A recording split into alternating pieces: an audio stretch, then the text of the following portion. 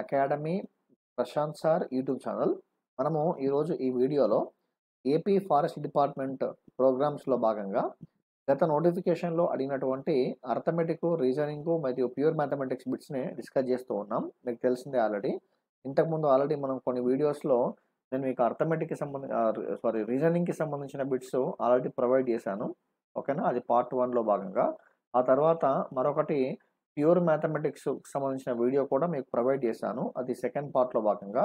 వీలైతే ఈ వీడియోస్ మీరు చూడని వాళ్ళు మనకి ఇప్పుడు ఈ వీడియో కింద డిస్క్రిప్షన్లో రీజనింగ్ బిట్స్ అంటే పార్ట్ వన్ పార్ట్ రెండు కూడా ఆ లింక్ షేర్ చేస్తాను. మీరు వీలైతే ఒకసారి ఆ వీడియోస్ కూడా వాచ్ చేయండి. ఇప్పుడు ఎక్స్క్లూజివ్గా ఈ వీడియోలో ఏం చేయబోతున్నాము అంటే అర్థమెటిక్కి సంబంధించిన బిట్స్ అండి. ఇవన్నీ బిట్స్ ఎక్కడి నుంచి అండి గత ఫారెస్ట్ డిపార్ట్మెంట్ నోటిఫికేషన్లో ప్రిలిమ్స్ ఎగ్జామ్లో భాగంగా అడిగినటువంటి అర్థమెటిక్ బిట్స్ అండి. ఇది జాగ్రత్తగా వినండి. మంచి లాజిక్స్తో కూడుకున్నటువంటి కొన్ని క్వశ్చన్స్ కొన్ని క్వశ్చన్స్కి మనం యూజువల్గా నీకు తెలుసు ఆల్రెడీ దాదాపు తొంభై శాతానికి పైగా క్వశ్చన్స్ని లాజికల్ యూజ్ చేసుకొని మనం యూజువల్గా అథమెటిక్ క్వశ్చన్లు చేస్తూ ఉంటాం. రేరెస్ట్ ఆఫ్ ద రేర్ కేసెస్లో కొన్ని క్వశ్చన్స్ ఎక్స్ వైఏ లాంటి వేరియబుల్స్ వాడుకొని చేస్తూ ఉంటాం. అది రేరెస్ట్ ఆఫ్ ద రేర్ కేసుల్లో కాబట్టి ఇప్పుడు ఈ వీడియోలో మనం అన్ని మోడల్స్ కవర్ విధంగా నీట్గా చేసుకుంటూ ముందుకెళ్దాం. వీడియో మొత్తం చూస్తే కనుక మీకు మంచి క్లారిటీ వస్తుందండి. జస్ట్ ఒక వన్ టూ మినిట్స్ వాచ్ చేసి కనుక మీరు చూస్తే కనుక అది మీకు క్లారిటీ ఉండదు. కాబట్టి try to watch this video till the end so that you are going to get the good clarity regarding arithmetic questions which were asked in forest beat officer examination ఓకేనా ఇక టైం వేస్ట్ చేయకుండా క్వశ్చన్లోకి వెళ్ళిపోదామండి అయితే ఈ క్వశ్చన్స్కి answer చేసే కన్నా ముందుగా ఒక చిన్న రిక్వెస్ట్ ఏంటి అంటే నేను ఇప్పుడు ఈ క్వశ్చన్స్ని సాల్వ్ చేసే సందర్భంలో మీకు అసలు ఏమాత్రము అర్థమెటిక్ పైన బేసిక్ అవగాహన ఏమీ లేకపోతే కనుక ఇది కొంత చాలా ఇబ్బందిగా అనిపిస్తుంది.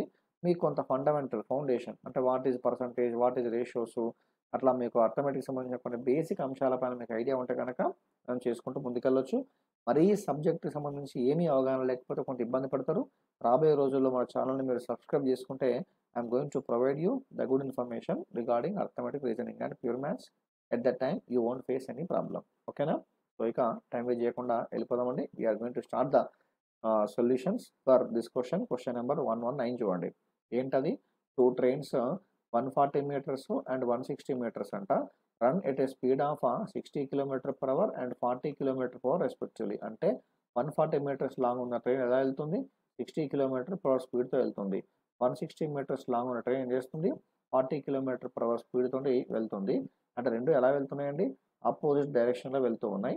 ఓకేనా అయితే the time which they take to the time which they take to access each other is అయితే అవి రెండు పరస్పరము ఒకదానికి మరొకటి దాటడానికి ఎంత సమయం పడుతుంది అంటున్నాడు. The time which takes to cross each other is అనేటువంటిది దానికి సంబంధించిన క్వశ్చన్ ఓకేనా? చూద్దామండి.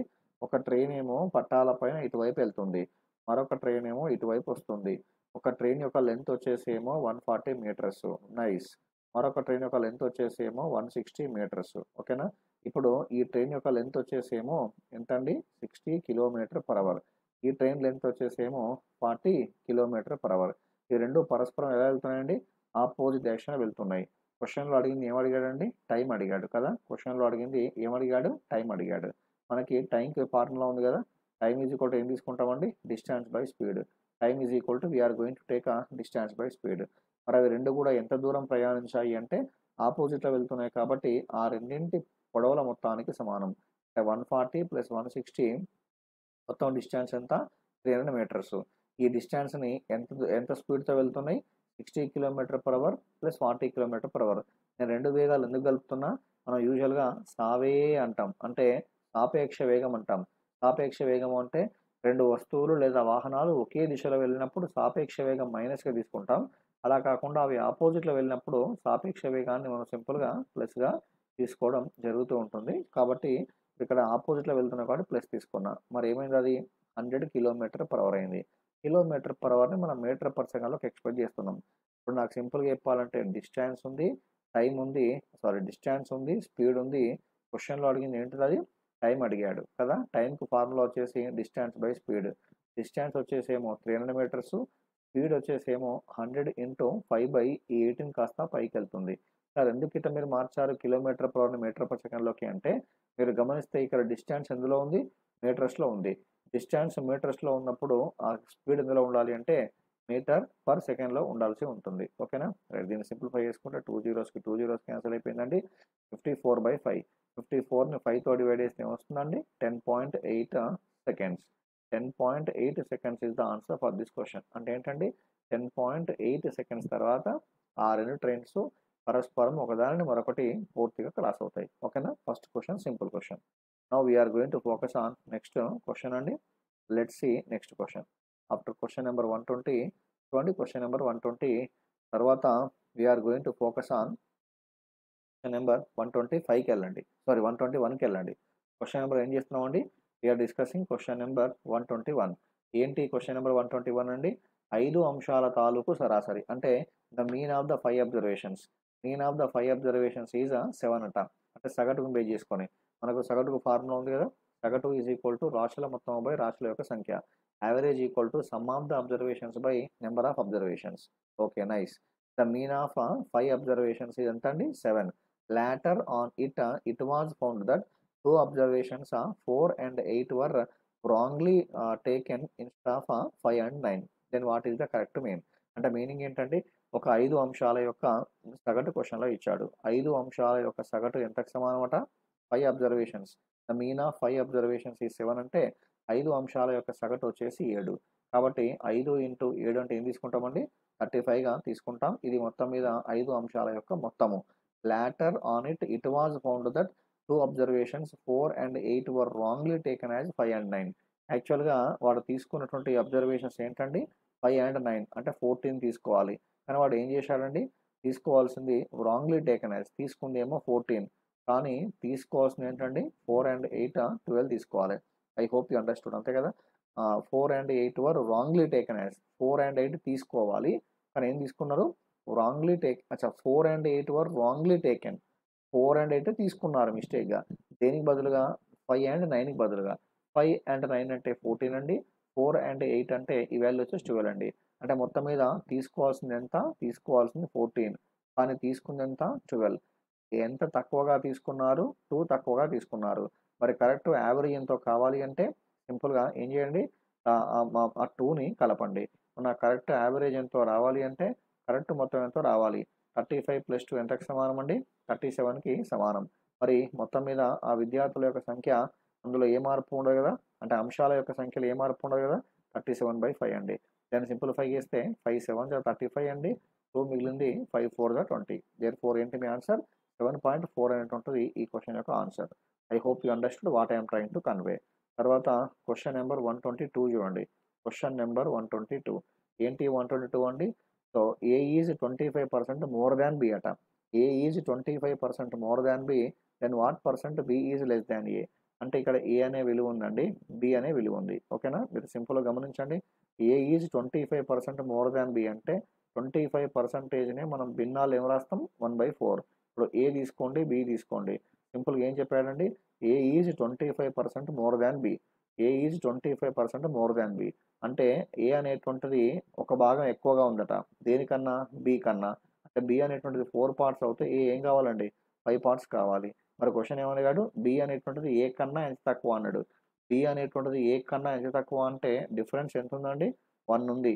కాబట్టి ఎంత తక్కువ ఉంది? వన్ తక్కువ ఉంది. దేంతో కంపేర్ చేసినప్పుడు? మనం సింపుల్గా ఫైవ్తో కంపేర్ చేసినప్పుడు. దేర్ ఫోర్ ఈ వాల్యూ దేనికి ఈక్వల్ అండి? Twenty పర్సంటేజ్కి equal twenty percentage is the answer for this question I hope you understood next ఇది ఆల్రెడీ ఓకే చేయలే కదా? చేద్దామండి. Now you're going to focus on this question ఓకేనా క్వశ్చన్ నెంబర్ దీని సరాసరి ఓకే ఇది క్వశ్చన్ చూడండి. Question number one twenty three ఏంటండి ఈ question number one twenty three just try to understand question number one twenty three if the mean of ten fifteen X and twenty and thirty is ఎంత? X twenty అంట what will be the value of X అయితే X యొక్క విలువ ఎంతకు సమానమో కనుగొనండి అన్నాడు the mean of ఏంటంట ఆ mean ten fifteen X twenty మరొకటి థర్టీ వీటి యొక్క యావరేజ్ ఎంతకు సమానమట? వీటి యొక్క యావరేజ్ వచ్చేసి ట్వంటీకి సమానమట. అయితే ఎక్స్ విలువ ఎంతో కనుగొనండి అన్నాడు ముందుగా దీని యొక్క యావరేజ్ ఫైన్ చేయండి. Sum of the observations by number of observations so ten plus fifteen twenty five twenty five ఒక ఫార్టీ ఫైవ్ సెవెంటీ ఫైవ్ ఓకేనా so seventy five plus X by మొత్తం మీద ఫైవ్ వచ్చింది. రాశుల మొత్తం పై రాశుల యొక్క సంఖ్య తీసుకున్నా ఇలా చేస్తే వచ్చేది మనకు ఏమొస్తుందండి? యావరేజ్ వస్తుంది. ఆ యావరేజ్ దేనికి ఈక్వల్ ట్వంటీకి ఈక్వల్ కాబట్టి ట్వంటీ ఇంటూ ఫైవ్ అంటే hundred therefore X equal to ఎంత అండి? హండ్రెడ్ మైనస్ సెవెంటీ ఫైవ్ అంటే you're getting twenty five X value ఎంతకు సమానం అండి? ట్వంటీ ఫైవ్కి సమానం. ఐ హోప్ యూ అండర్స్టూడ్ ఓకేనా తర్వాత ఇంకా కొంత ముందుకెళ్దామండి. So one twenty four one twenty five ఇవన్నీ కూడా ప్యూర్ మ్యాథ్స్ క్వశ్చన్స్ ఆల్రెడీ మనం కొన్ని రీజనింగ్ క్వశ్చన్స్ ఆల్రెడీ చేసాం. ఇంతకుముందు ఆల్రెడీ గత వాటిల్లో మనం ఆల్రెడీ చేయడం జరిగింది. చేయడం జరిగింది. ఇప్పుడు క్వశ్చన్ నెంబర్ వన్ ట్వంటీ ఎయిట్కి వెళ్ళండి. క్వశ్చన్ నెంబర్ ఎంత అండి one twenty eight I will try to understand question number one twenty eight అండి. ఏంటి వన్ ట్వంటీ ఎయిట్ ఒక పరీక్షలో అట విద్యార్థులకు వచ్చిన సగటు మార్కులు అరవైగా గుర్తించబడ్డాయట. In an examination the average marks was found to be sixty in an examination the average of marks was found to be ఎంత sixty for deducting marks for a computational errors the marks of hundred candidates had to be changed from 90 to 70 each and so that the average makes came down to what we can say 50 the total number of candidates who appeared in the examination is అయితే మొత్తం మీద ఆ పరీక్షకి హాజరైన విద్యార్థుల యొక్క శాతం ఎంతో కనుగొనండి అన్నాడు దాని మీనింగ్ ఏంటంటే స్టార్టింగ్లో మొత్తం ఎంతమంది విద్యార్థులు మనకు తెలియదు. కానీ ఆ విద్యార్థుల యొక్క సగటు ఎంతకు సమానమట? అరవైకి సమానమట. తర్వాత ఏం గమనించాం? For deducting marks for a computational basis. ఆ తర్వాత దాన్ని ఏం చేశారట? The marks of hundred candidates. ఒక వంద మంది యొక్క విద్యార్థుల యొక్క మార్కులని తొంభైకి బదులుగా డెబ్బైగా తీసుకుండట ఆ విధంగా తీసుకోవడం ద్వారా ఏమైందట? యావరేజ్ అనేటువంటిది మరి వందకు తగ్గిందట. అయితే సరి అయినటువంటి అడిగింది క్వశ్చన్ ఏంటిది? అపియర్డ్ ఫర్ ద ఎగ్జామినేషన్ ఎంతమంది పరీక్షకి హాజరయ్యారు అంటున్నాడు. ఫర్ ఎగ్జాంపుల్ ఉన్నటువంటి మొత్తం విద్యార్థులని ఒక ఎక్స్ అనుకుందామండి. ఉన్న మొత్తం విద్యార్థులు ఎందరండి? ఎక్స్ మరి ఎక్స్ మంది విద్యార్థులు పొందినటువంటి సగటు మార్కులు ఎంతకు సమానం అండి అరవైకి సమానం. కాబట్టి దీన్ని బేస్ చేసుకొని X into sixty so X into sixty అంటే సింపుల్గా ఏం తీసుకుంటామండి? సిక్స్టీ ఎక్స్ అనేటువంటిది ఏంటండి? సిక్స్టీ ఎక్స్ అనేటువంటిది సింపుల్గా చెప్పాలంటే మనకి మొత్తం మీద వచ్చినటువంటి మార్క్స్ కదా? మొత్తం ఎక్స్ మంది విద్యార్థుల యొక్క సగటు అరవై కాబట్టి మొత్తం మార్కులన్నీ అంటే సిక్స్టీ ఇంటూ ఎక్స్ సిక్స్ తర్వాత ఏం గమనించారు? ఈ సిక్స్టీ ఎక్స్లో నుంచి ఏం చేయాలట? వంద మంది విద్యార్థుల యొక్క మార్కులను ఒక్కొక్క విద్యార్థి యొక్క మార్కులు ట్వంటీ తగ్గించారట. నైంటీ నుంచి సెవెంటీకి మారిందంటే ట్వంటీ తగ్గించండి. ఇది మన ప్రజెంట్ ఉన్నటువంటి మొత్తం మార్క్స్. పై మనకి యావరేజ్లో ఏ మార్పు ఉండదు కదా? పై మొత్తం విద్యార్థుల యొక్క సంఖ్య ఎంతకు సమానం అండి? ఎక్స్కి సమానం. ఇలా చేస్తే వచ్చేది యావరేజ్ ఆ యావరేజ్ ఎంతకు సమానం అట ఫిఫ్టీకి సమానం అట ఇంకో దీన్ని సింప్లిఫై చేసుకుంటే సో సిక్స్టీ ఎక్స్ వస్తుందండి. సిక్స్టీ ఎక్స్ మైనస్ ఇది ఒక two thousand that is equal to fifty X అవుతుంది. దీనిని మనం ఇంటర్చేంజ్ చేసుకుంటే సిక్స్టీ ఎక్స్లో నుంచి ఫిఫ్టీ ఎక్స్ పోతే ఒక టెన్ ఎక్స్ వస్తుంది. Ten X is equal to two thousand అంటే ఎక్స్ వాల్యూ దేనికి సమానం అండి టూ హండ్రెడ్కి ఈక్వల్ అంటే ఎక్స్ అంటే ఏంటి? స్టార్టింగ్లో ఉన్నటువంటి విద్యార్థుల యొక్క సంఖ్య. స్టార్టింగ్లో ఉన్న విద్యార్థుల యొక్క సంఖ్య. ఇది ఎక్స్ అండి. స్టార్టింగ్లో ఉన్న విద్యార్థుల యొక్క సంఖ్య. దేర్ ఫోర్ ఎంతకు సమానం అండి? స్టార్టింగ్లో ఉన్న విద్యార్థుల యొక్క సంఖ్య వచ్చేసి మనకి స్టార్టింగ్లో ఉన్న విద్యార్థుల యొక్క సంఖ్య ఎంతకు సమానం అండి? ఎక్స్కి సమానం. ఐ హోప్ యూ అండర్స్టూడ్ ఓకేనా right next question number one twenty nine చూడండి.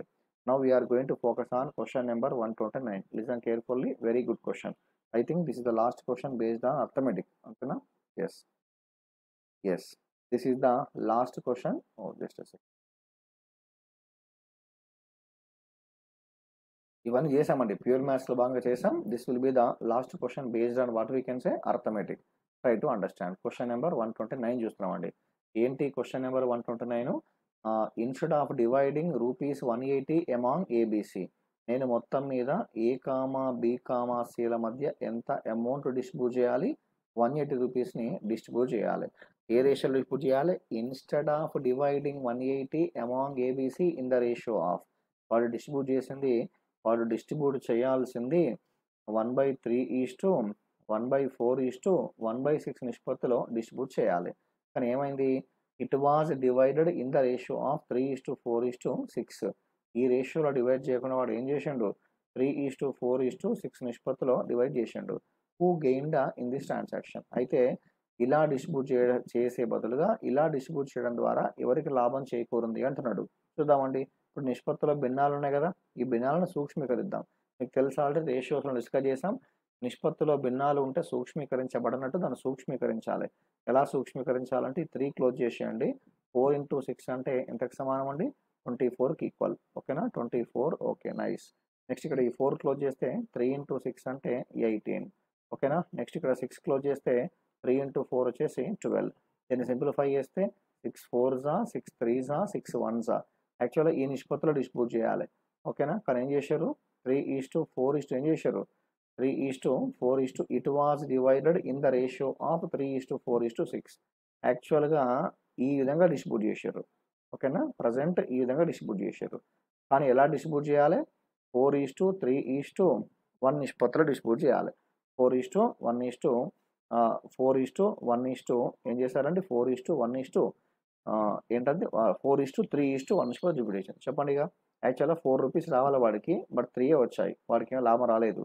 త్రీ రూపీస్ రావాలి కానీ ఫోర్ వచ్చాయి. వీడికే రావాలి వన్ రూపీయే రావాలి కానీ సిక్స్ రూపీస్ వచ్చాయి.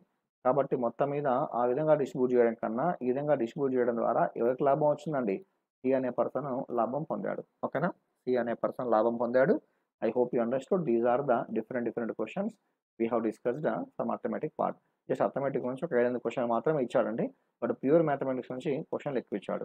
మీరు ఒక విషయం గమనించండి. ఈ వీడియో పూర్తిగా చూసిన వాళ్ళు ఏంటి అంటే యూజువల్గా ఫారెస్ట్ డిపార్ట్మెంట్ లాంటి ఎగ్జామినేషన్స్లో అర్థమెటిక్ రీజనింగ్ కన్నా ఎక్కువ ఇంపార్టెన్స్ ప్యూర్ మ్యాథమెటిక్స్ ఇస్తారు. కాబట్టి మీరు నాన్ మ్యాథ్స్ ఆస్పిరెంట్స్ ఏ ఇబ్బంది పడకుండా ప్యూర్ మ్యాథమెటిక్స్ ప్రతి టాపిక్ని ఇంకా టైం ఉంది. నోటిఫికేషన్ రాలేదు. ప్రతి టాపిక్ని బేసిక్ నుంచి అడ్వాన్స్డ్ వర్షన్లో నేర్చుకోండి. రాబోయే రోజుల్లో మన యూట్యూబ్ ఛానల్లో కూడా నాట్ ఓన్లీ యూట్యూబ్ ఛానల్ మన యాప్లో కూడా ప్లే స్టోర్లో యాప్ ఉంటుంది Ramanujan academy Prashant sir.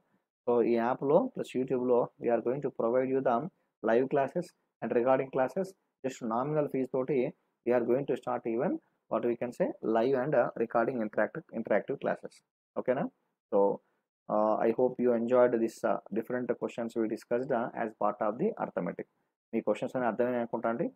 So రాబోయే రోజుల్లో మరికొన్ని క్వశ్చన్స్ని చూద్దామండి please do like share my videos thank you see you in the next video